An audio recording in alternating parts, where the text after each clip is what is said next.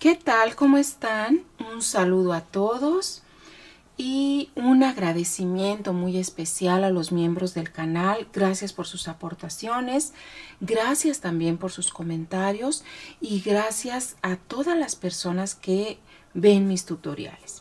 Yo soy la diseñadora Berta Gutiérrez y hoy vamos a hacer el patrón para el saco sastre de dama, un saco clásico. Y bueno, pues para poder hacer este proyecto necesitamos las medidas de nuestra clienta, de nuestra modelo. Yo lo voy a hacer en talla 7, lo vamos a hacer en centímetros y para eso necesitamos nuestra regla multifunción, que recuerden que está aquí en a la venta en el canal. Y también necesitamos marcadores de diferentes colores, papel imprenta, además de unas tijeras para recortar los patrones. Muy bien, comenzamos. Las medidas de la talla 7 son pecho o contorno busto 88, eh, largo espalda 39, contorno cintura 66, contorno cadera 92, medida de hombro 13 centímetros, largo saco 70 centímetros y largo manga 60 centímetros. Estas son las medidas de la talla 7. Nosotros vamos a trazar la mitad de todo el contorno. Es decir, vamos a trazar espalda, costadillo y frente, la mitad del contorno total. Por lo tanto, vamos a dividir las medidas a la mitad. Y la medida que nosotros vamos a tener de referencia para trazar son 44 centímetros de pecho, que es la mitad del total. De la cintura, 33 centímetros, igual es la mitad del total. Y la cadera 46 centímetros que es la mitad del total. También vamos a tener un contorno puño de 30 centímetros. Esto es para la talla 7. Escuadramos dejando un margen de 8 centímetros en la línea vertical y 10 en la línea horizontal. Donde se unen las dos líneas ponemos el número 0. Y de 0 hacia abajo 1.5 centímetros y ahí ponemos el punto número 1. Luego de 1 hacia abajo un tercio de pecho más 2.5. De 1 hacia abajo un tercio de pecho más 2.5. Un tercio de pecho 14.6 más 2.5 5 son 17.1. Aquí ponemos nuestro punto número 2. Punto número 3 de, de 0 hacia abajo, largo talle, 39 centímetros. Este sería nuestro punto número 3. El punto número 4, de 1 hacia abajo, el largo saco, 70 centímetros. Y este es nuestro punto número 4. Vamos a escuadrar nuestro punto 2, 3, y 4.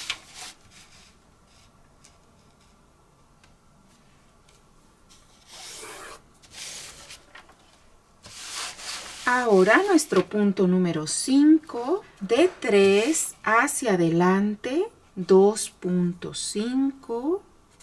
Este sería el punto 5. Y el punto número 6, de 3 hacia adelante, 2.5. Vamos a unir con recta 6 y 5 con línea recta vamos a usar la curva desastre de esta manera.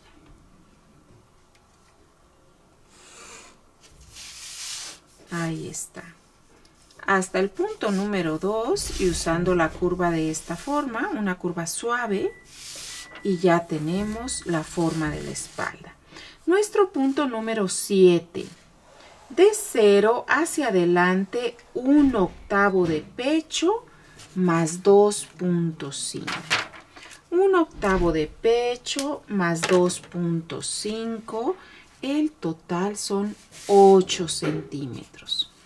De 0 hacia adelante, 8 centímetros. Ese es mi punto número 7. Y mi punto número 8, de 7 hacia arriba, 2.5. De 7 hacia arriba, 2.5. Este es el punto número 8. Y voy a usar la curva francesa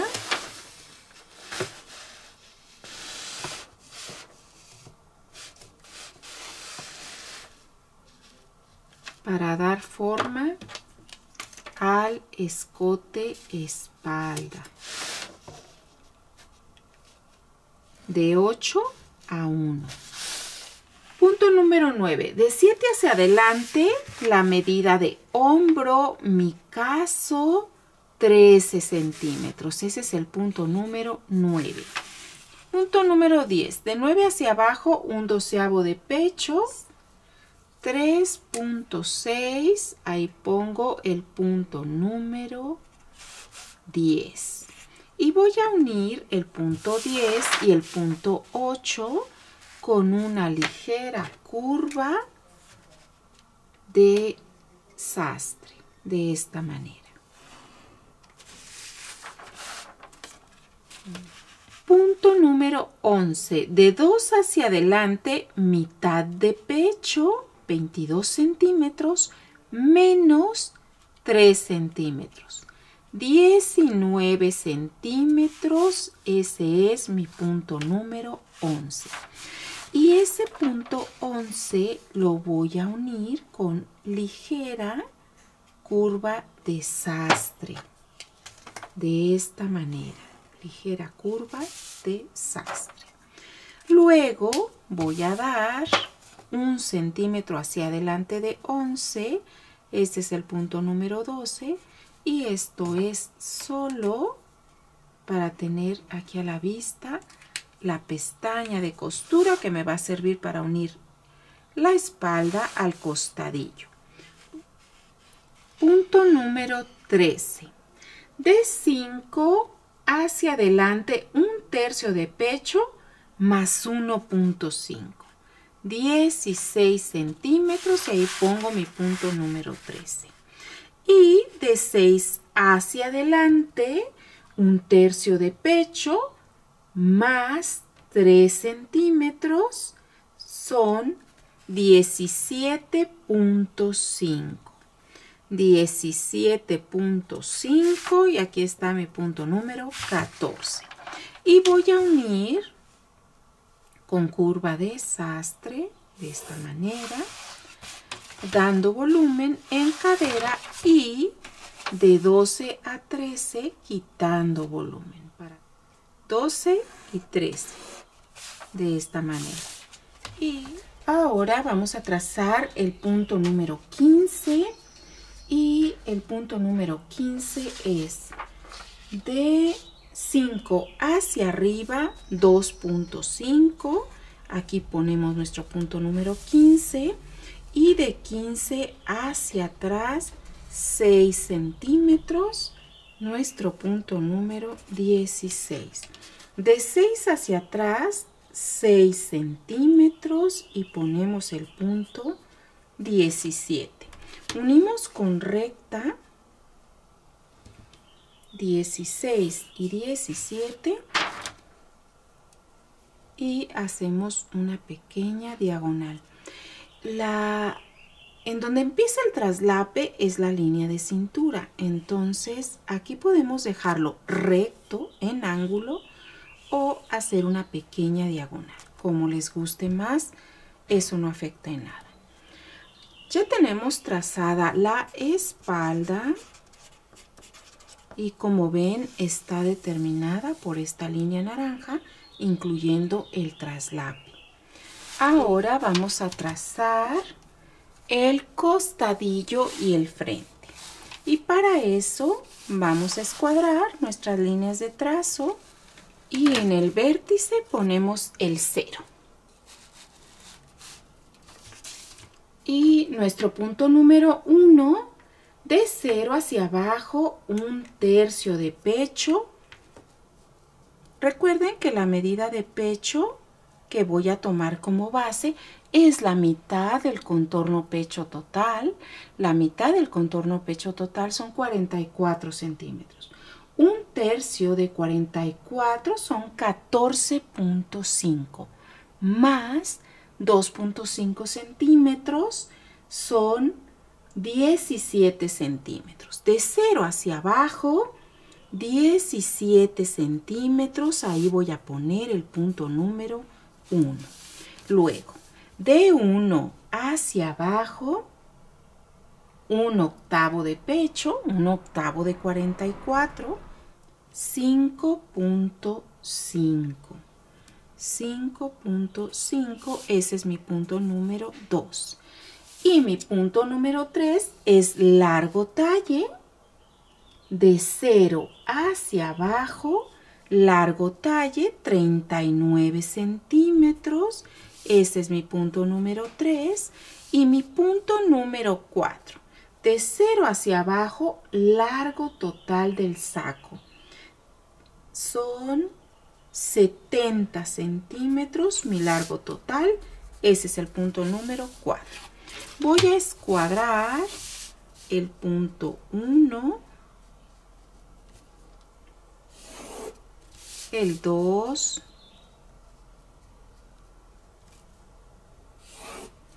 el 3 y el 4. Escuadro mis líneas de trazo. Punto número 5. De 1 hacia adelante, un centímetro. De 1 hacia adelante, un centímetro. Este es mi punto número 5. Punto número 6. De 2 hacia adelante, un tercio de pecho, 14.6. Ahí pongo mi punto número 6. Y punto número 7 de 3 hacia adelante, un tercio de pecho. De 3 hacia adelante, un tercio de pecho. 14.6. Este sería mi punto número 7. Punto número 8. De 4 hacia adelante, un tercio de pecho. 14.6. Les recuerdo que los cálculos que estamos haciendo son de la mitad del contorno pecho total. 44 centímetros, el caso que yo estoy haciendo ahorita.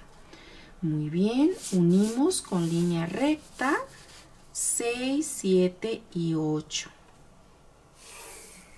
Luego, el punto número 9 de 7 hacia atrás un tercio de cintura, 11 centímetros. De 7 hacia atrás un tercio de cintura, 11 centímetros.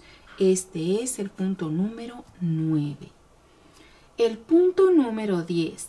De 2 hacia adelante, un cuarto de pecho. De 2 hacia adelante, un cuarto de pecho, 11 centímetros. Este es mi punto número 10. Punto número 11. De 8 hacia atrás, un 16 de pecho. 44 centímetros entre 16. El resultado 2.75. De 8 hacia atrás 2.75. Este es el punto número 11. Unimos con recta 10 y 11. Punto número 12. Cruce de esta línea 10, 11 con la línea 3. Este es el punto 12. Punto número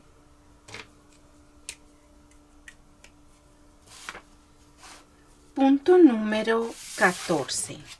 De 10 hacia atrás un centímetro, ahí ponemos el punto número 14. De 10 hacia adelante un centímetro, ponemos el punto número 13 y de 12 hacia atrás un centímetro y medio, de 12 hacia adelante un centímetro y medio y ahí tenemos los puntos 15 y 16. Y vamos a unir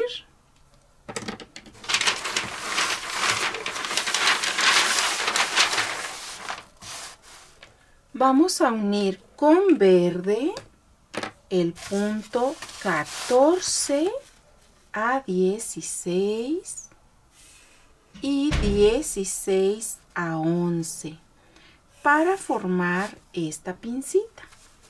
Y unimos también el 5 al 14 con curva francesa. Este es el costadillo. Todo lo que ven con verde es el costadillo. El otro lado de la pinza lo vamos a unir con color azul y esto ya va a pertenecer al frente de nuestro saco. 13 con 15, 15 con 11. Es el otro lado de la pincita.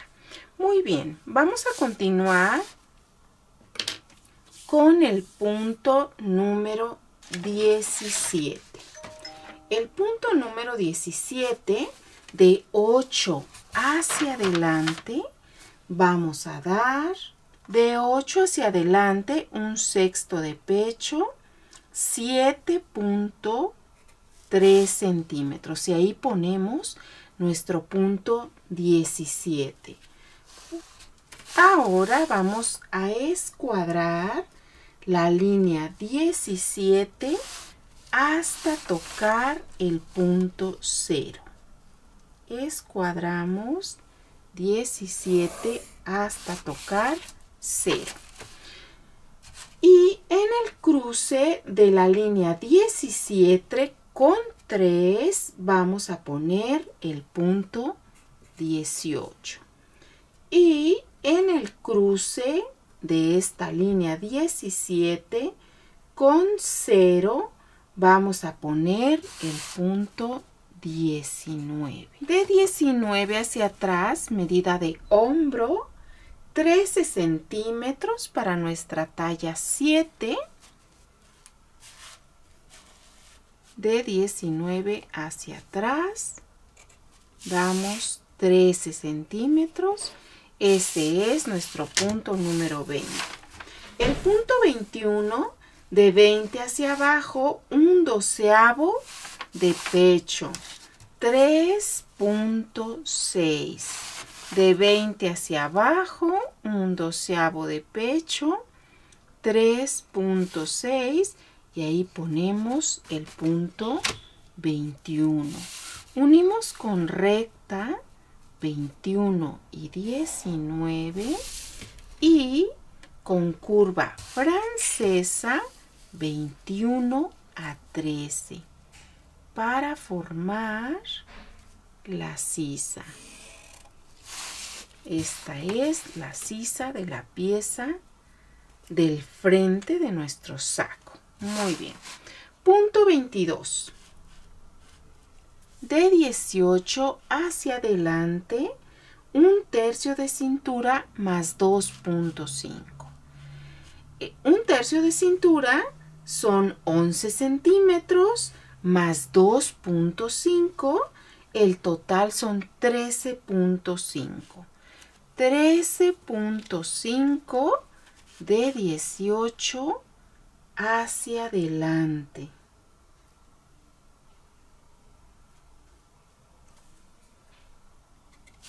Este es nuestro punto 22. Y ese punto 22 lo vamos a escuadrar hacia abajo hasta tocar la línea 4, que es el largo total de nuestro saco.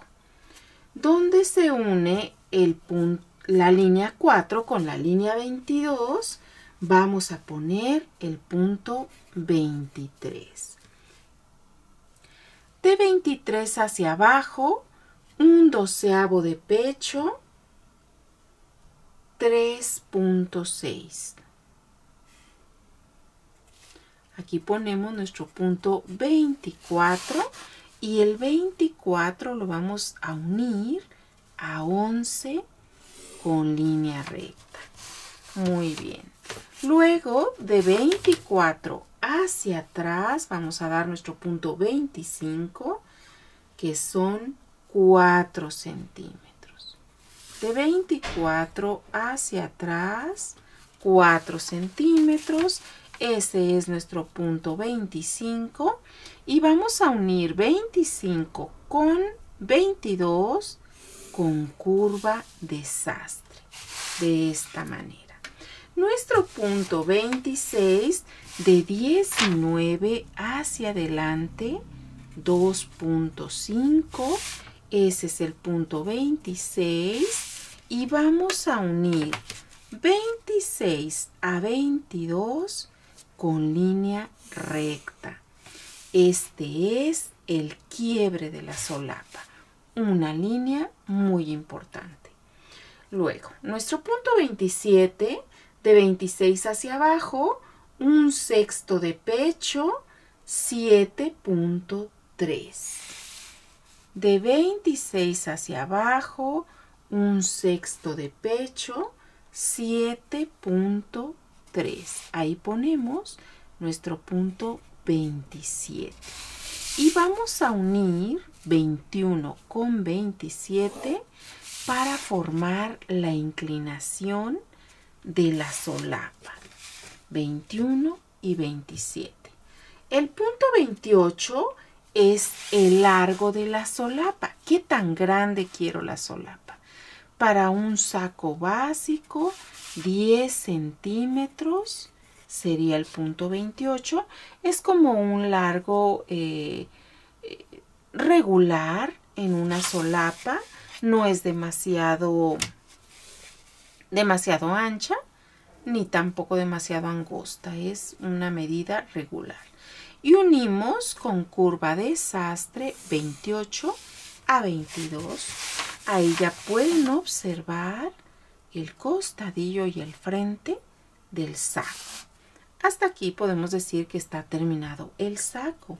Falta marcar en qué lugar van las bolsitas, eh, la bolsa inferior y la bolsa de pañuelo y también hacer la pinza de ajuste de la solapa y la pinza de busto para nuestro saco de dama. Recuerden que este es un saco de dama y para que orme bonito pues necesitamos esa pinza de busto y también la pinza de ajuste en la solapa. Muy bien, vamos a trazar los bolsillos. Nuestro punto 29. De 18 hacia abajo, 5 centímetros. De 18 hacia abajo, 5 centímetros. Este es el punto 29. Punto número 30. De 12 hacia abajo vamos a dar 4 centímetros. Ese es nuestro punto 30. Y eso es solamente para darle la inclinación al bolsillo. Un centímetro es la inclinación que lleva nuestro bolsillo inferior. Bueno, el punto número 31, de 30 hacia atrás, 4 centímetros. Ese sería el punto 31. Y, como se podrán dar cuenta, la bolsita está comprendida entre el punto 31 y el 29. De 29 hacia atrás, 2.5 y ahí ponemos nuestro punto 32. Punto 33. De 29 hacia arriba, 17 centímetros. Este sería el punto B33. Es el punto de la pinza, de la pinza vertical. Bueno, punto 34.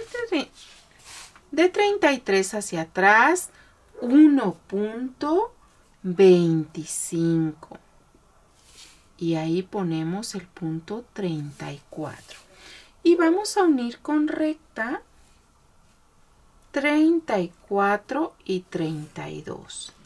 Punto 35. Mitad entre 34 y 32. Ese es el punto 35. Y vamos a formar la pincita. Esta pincita es una pinza pequeñita que va a medir un centímetro adelante y un centímetro atrás del punto 35. Este sería el punto 36 y este el punto 37. Y vamos a cerrar esa pincita uniendo 34 y 36, 36 y 32. 32, 37, 37, 34. Y ahí tenemos la pincita. Es una pincita muy pequeñita que mide un centímetro. Ahora vamos a marcar nuestro bolsillo de pañuelo. De 6 hacia adelante 10 centímetros y ahí vamos a poner el punto 38. De 6 hacia adelante 10 centímetros, este es el punto 38. Y de 38 hacia abajo, un centímetro, ese es el punto 39.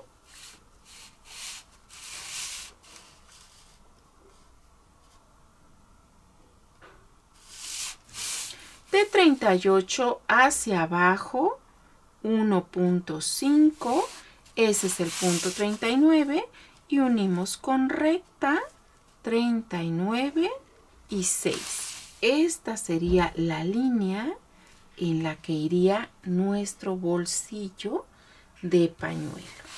Muy bien.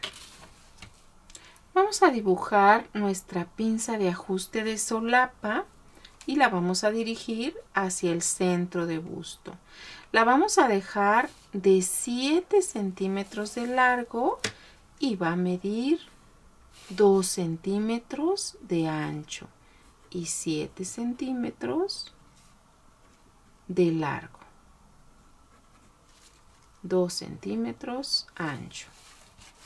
Y la, la cerramos en este punto. Ahí está. Luego dibujamos nuestra pinza de busto desde esa línea de centro de 2 centímetros. Esta es una pincita muy pequeñita. La vamos a hacer física y vamos a cerrar nuestra pinza de de solapa para que se abra un poquito más y esta pinza la vamos a hacer física. Pero ahorita vamos a trazar el cuello. Hasta este momento tenemos listo nuestro costadillo. Este se llama costadillo. Y nuestro frente ya está listo. Ahora vamos a trazar el cuello para después recortar nuestros patrones y cerrar nuestra pinza de solapa si es necesario, una vez que cerramos la pinza de solapa, podemos afinar la solapa para dejarla un poquito más grande si así lo deseamos. Ahora vamos a trazar el cuello. Y vamos a prolongar la línea de quiebre. La prolongamos hacia arriba, la línea de quiebre de solapa mi escote espalda midió 10 centímetros, pero tenemos que quitarle la costura del hombro y la del centro de la espalda. Y serían 8 centímetros lo que vamos a dar de medida de cuello. Y ese sería nuestro punto número 40. De 26 hacia arriba vamos a dar la medida del escote espalda. Y de 40 hacia atrás vamos a dar 4.5 centímetros y ahí ponemos el punto 41 ese punto 41 lo vamos a unir a 19 y vamos a prolongar hacia adelante una línea.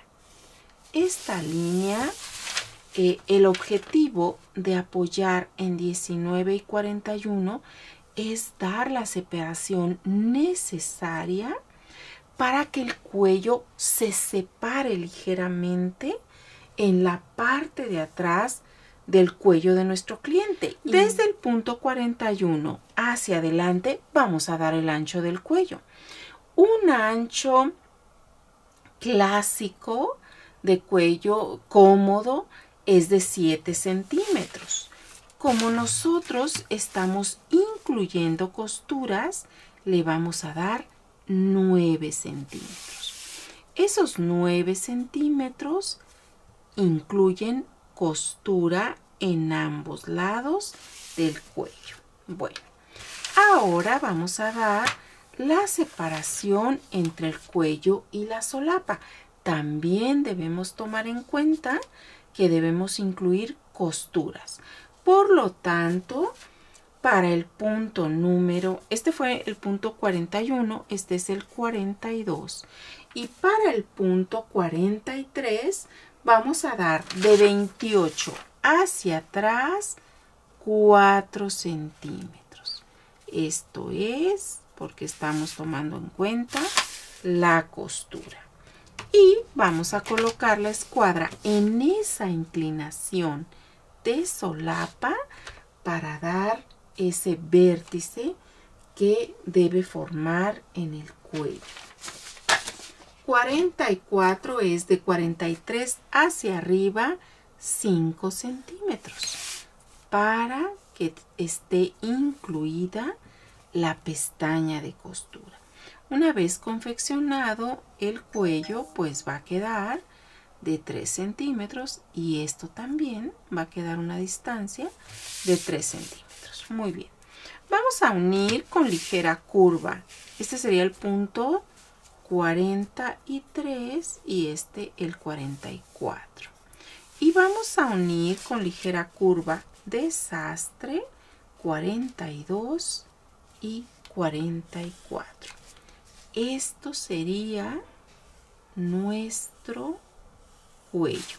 Si les queda un pequeño huequito como el que yo tengo aquí, afínenlo para que tenga una forma recta en esta parte. Ahí está. Esto es el cuello, el cual vamos a cortar a doblez. Voy a separar los patrones. Ya tenemos separadas todas las piezas recortadas, espalda, costadillo y frente. Bueno, esta pinza no recorté, como ven, el contorno del centro porque vamos a cerrar la pinza. Y una vez que la cerremos, esta pinza yo voy a cortar con esa pinza cerrada mi patrón y el volumen de esta pinza le estoy mandando al busto.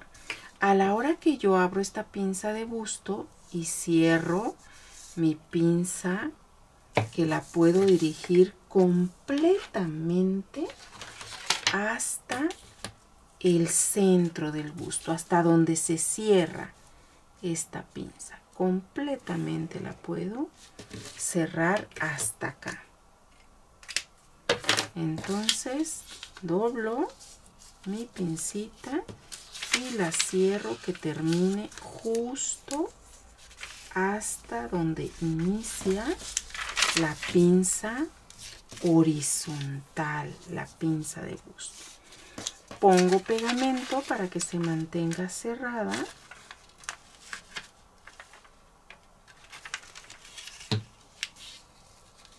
Ahí está. Y voy a afinar la, la inclinación y y la distancia de mi, de mi, la medida de mi solapa para que me coincida perfectamente con mi cuello.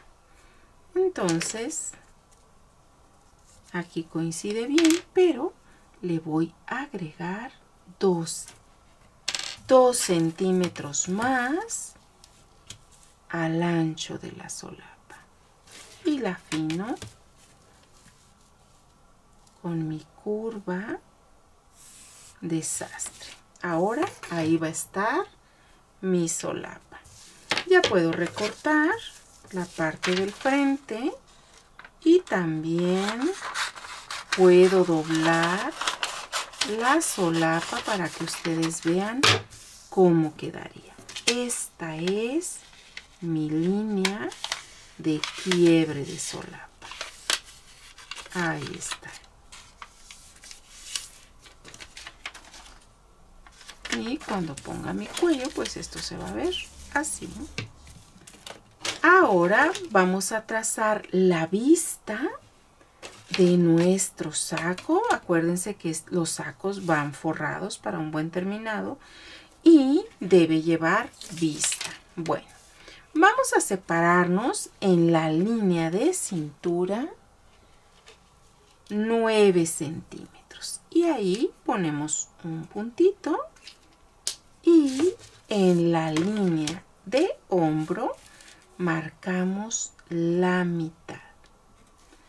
Unimos con curva desastre desde la mitad del hombro hasta la línea de cintura y marcamos nuestra vista. Luego apoyamos en esta línea recta de cintura y trazamos recto hacia abajo.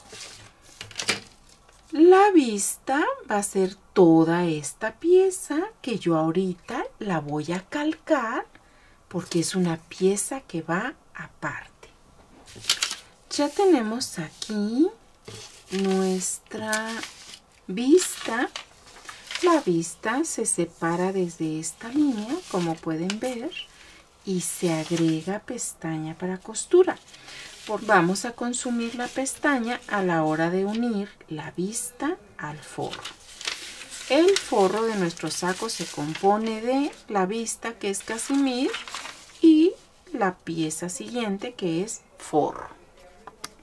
Ahora vamos a trazar la manga y para eso vamos a medir nuestra sisa, espalda y vamos a quitarle las pestañas para costura. Y bueno, tenemos que nuestra sisa espalda mide 18 centímetros. Lo vamos a anotar aquí. 18 centímetros. Nuestra sisa eh, costadillo mide 11 centímetros y nuestra sisa delantera 25 centímetros.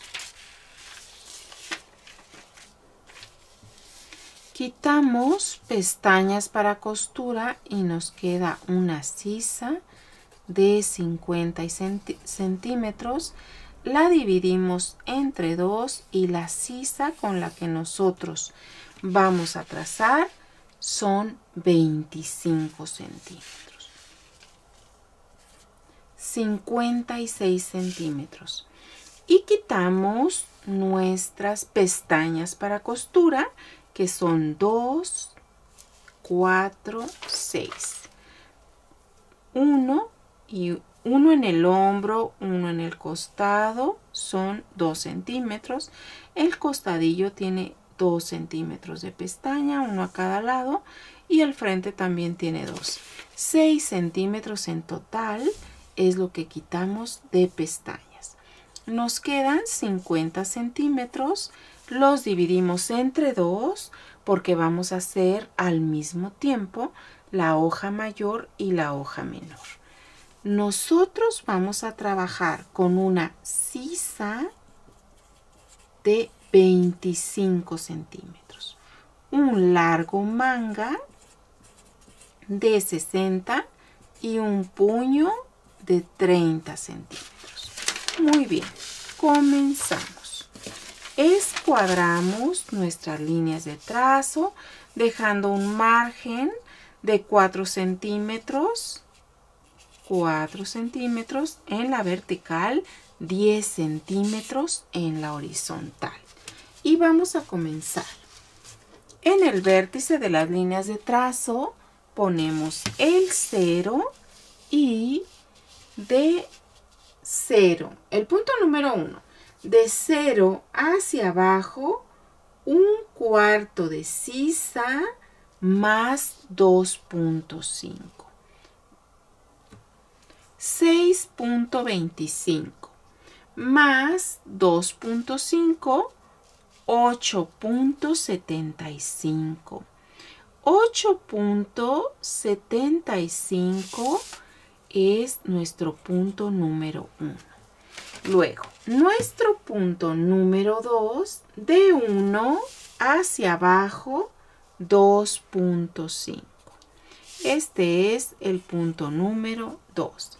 Y el punto número 3, de 2 hacia atrás, 2.5, aquí ponemos el punto número 3. Y el punto número 4, de 0 hacia abajo, 60 centímetros, el largo de la manga. Este es el punto número 4. 60 centímetros para nuestra talla 7. Muy bien.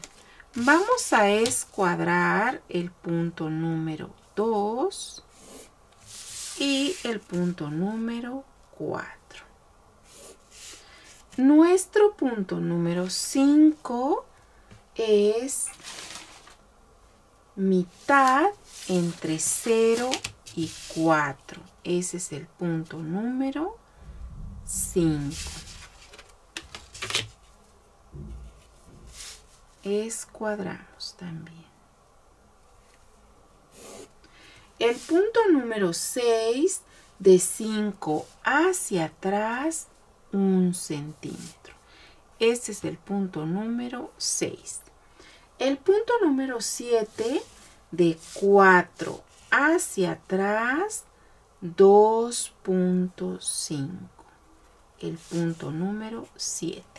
Y unimos con curva desastre el punto 4 y el punto, perdón, el punto 3, el punto 6 y luego en sentido contrario de la curva desastre el punto 6 y el punto 7. Muy bien. Luego, el punto número 8 4 hacia adelante, mitad de puño. De 4 hacia adelante, mitad de puño, 15 centímetros. Ese es el punto número 8. Y el punto número 9, de 8 hacia abajo, 2.5 centímetros. Este es el punto 9. Unimos con recta 9 y 7 para formar la inclinación de la, del puño de la manga. Muy bien, el punto número 10. De 5 hacia adelante. De 5 hacia adelante. La medida de sisa, que son 25 centímetros, menos 5 centímetros. O sea, de 5 hacia adelante vamos a dar 20 centímetros. Este es el punto 10. De 5 hacia adelante, medida de sisa menos 5 centímetros. 20 centímetros. Este es mi punto 10. Mi punto 11 de 0 hacia adelante, medida de sisa menos 4 centímetros. 21 centímetros es el punto 11. De 0 hacia adelante, medida de sisa 25 centímetros menos 4 centímetros, 21 centímetros es lo que vamos a dar. Y vamos a unir con curva de sastre 11 10 y 9. 11, 10 y 9. De esta manera. Ahí tenemos la inclinación en la línea de codo de nuestra manga. Muy bien, punto número 12. Punto número 12. De 11 hacia atrás, vamos a dar un cuarto de sisa. 6.25. 6.25 es el punto número 12. Este es el 11. Y nuestro punto número 13, mitad entre 0 y 11. Mitad entre 0 y 11 es el punto número 13. Punto 14. De 13 hacia atrás, un tercio de sisa menos 2.5 centímetros. 5.8. De 13 hacia atrás, 5.8. Luego, nuestro punto número 15. De 13 hacia arriba un cuarto de sisa 6.25 de 13 hacia arriba un cuarto de sisa 6.25 ese es el punto 15 luego nuestro punto 16 un centímetro. De 12 hacia arriba un cuarto de sisa menos un centímetro. Unimos con curva francesa 15, 16 y 11 en este sentido. Luego, 15 y 14 en sentido contrario. Y con recta vamos a unir 14 con 1 y con curva francesa también vamos a hacer esta pequeña curvita.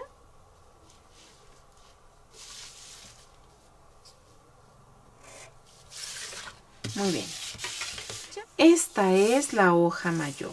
Ahora vamos a continuar con la hoja menor y seguiría nuestro punto número 17 17 de 3 hacia adelante, 5 centímetros. Y ahí ponemos el punto 17.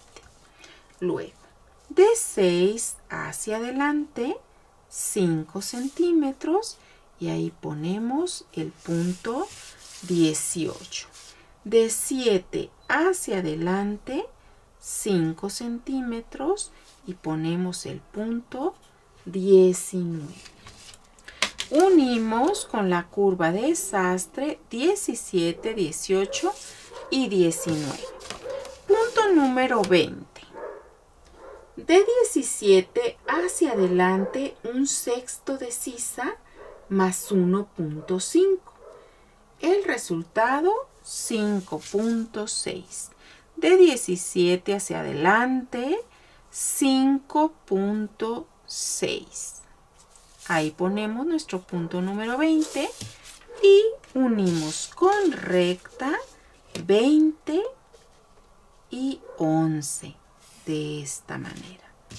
Luego, para tener una, lo único que tenemos que hacer es una pequeña curvita en esta parte. Ya tenemos lista la hoja mayor y la hoja menor. Ahora vamos a trazar el traslape de nuestra manga. Y para eso vamos a dar el punto 22 que va a ser de 9 hacia arriba 17 centímetros. Este sería el punto 22. Luego el punto 23 de 9 hacia adelante 5 centímetros.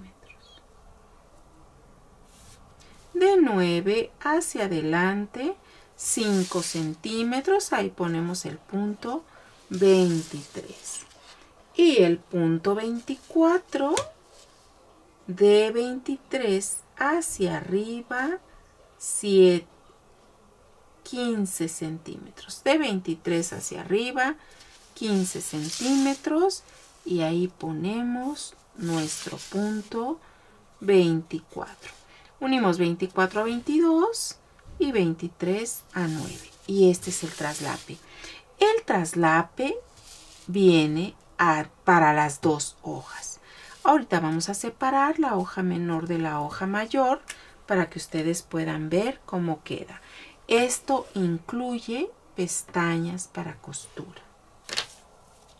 Ya tenemos aquí las dos piezas de manga separadas, hoja mayor y hoja menor. ¿Qué vamos a cortar de cada cosa?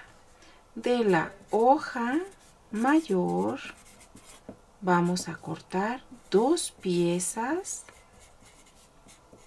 tela o casimir dos piezas forro de la hoja menor igual hoja menor dos piezas tela dos piezas forro. Muy importante marcar el hilo, la posición en la tela, porque como la manga va inclinadita para darle la forma al codo, pues necesitamos marcar la posición en, la, sobre la tela.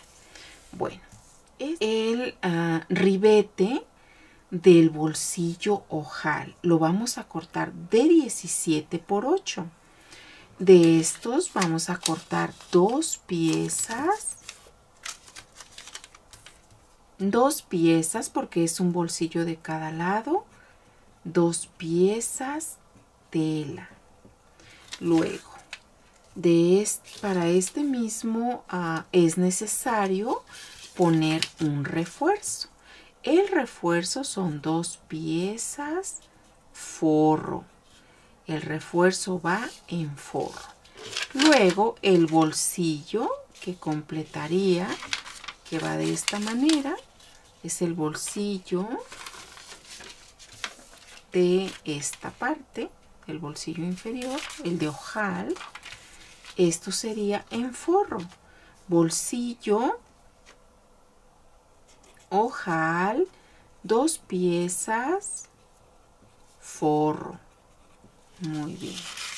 Luego, el bolsillo de pañuelo. El bolsillo de pañuelo que lo vamos a cortar de 12 centímetros por 20 porque ya confeccionado va a medir 10.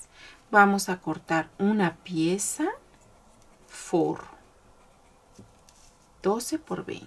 Luego el ribetito de la bolsa de pañuelo 12 por 7 que va así dobladita también. Y esto es una pieza casimir. O tela cualquier tela que usen para su eh, su saco. Esto es la cartera es el adornito que sale de la bolsita de ojal de la bolsita de ribete cartera dos piezas tela esto es la habilitación del saco. Muy bien. Tenemos ya entonces mencionado que se va a cortar de cada cosa y de esta pieza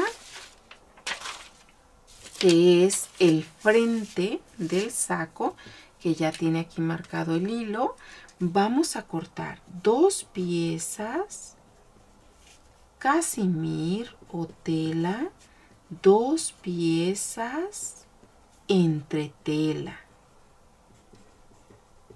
Del costadillo vamos a cortar lo mismo. Dos piezas, tela, dos piezas entre tela. Y de la espalda vamos a cortar solamente dos piezas, tela, dos piezas, forro. Del costadillo también vamos a cortar forro. Dos piezas, forro. Y de nuestra vista y forro que la tenemos aquí, esta es la vista del saco y de esta vamos a cortar dos piezas, tela, dos piezas, entre tela. Y esto es dos piezas, forro. Del cuello vamos a cortar esta partecita se corta dos veces en entretela para que quede más durito. También, si lo ponemos en fieltro, pues no necesitamos poner dos veces en entretela. El, del cuello vamos a cortar a doblez, dos piezas, a doblez, tela. Una pieza entre tela y este pedacito lo vamos a cortar extra en entretela. Ya tenemos todo listo para cortar nuestro saco sastre. Y es manga, hoja menor, hoja menor de ambas, dos piezas tela, dos piezas forro. Luego tenemos el frente que vamos a cortar dos piezas tela, dos piezas entre tela. El costadillo que vamos a cortar, dos piezas tela, dos entre tela, dos forro. La espalda, dos piezas tela, dos piezas forro. La vista, que esto sería lo que forraría el delantero. De la vista, dos piezas tela, dos entre tela y dos piezas solo forro. La habilitación, la bolsa de pañuelo, una pieza tela, una pieza forro. Bolsillos de ojal, dos piezas forro porque son dos bolsillos, uno de cada lado. Dos, esta es la carterita, dos piezas tela. Esto es el refuerzo del que vamos a cortar dos piezas forro. Y estos son los ribetes. Dos piezas tela. Cuello. Dos piezas tela. Dos piezas entre tela. Todos los patrones listos para cortar nuestro saco sastre para dama. Yo soy la diseñadora Berta Gutiérrez y nos vemos en el próximo tutorial.